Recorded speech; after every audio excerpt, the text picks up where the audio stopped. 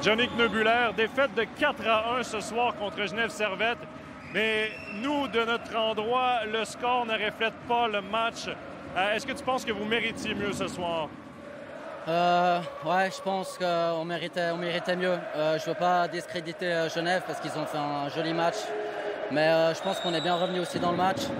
Premier tiers, ils étaient, je pense qu'ils étaient meilleurs, mais le deuxième tiers, on a bien revenu. On leur a montré qu'on était là, qu'on pouvait revenir dans le match. Et euh, on était à 2 à 1 et euh, là, on aurait pu saisir une occasion. Malheureusement, on a fait une ou deux petites euh, erreurs après qui nous ont compté le match et c'est pas loin. Donc c'est un peu frustrant. Ouais. L'avantage numérique a fait la différence pour Genève Servette. De votre côté, ça fait plusieurs matchs que c'est compliqué, que c'est difficile, que vous n'avez pas marqué. Selon toi, qu'est-ce que vous devez changer à cet avantage numérique pour qu'il débloque?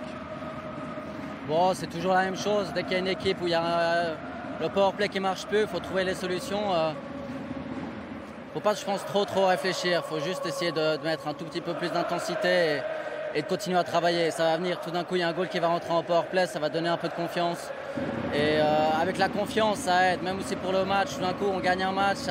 Il y a tout qui se libère un peu plus. Il y a un peu moins de poids sur les épaules pour powerplay, pour le, le. Donc, il faut continuer à travailler et ouais, pas abandonner. Ouais. Merci beaucoup. Bon retour.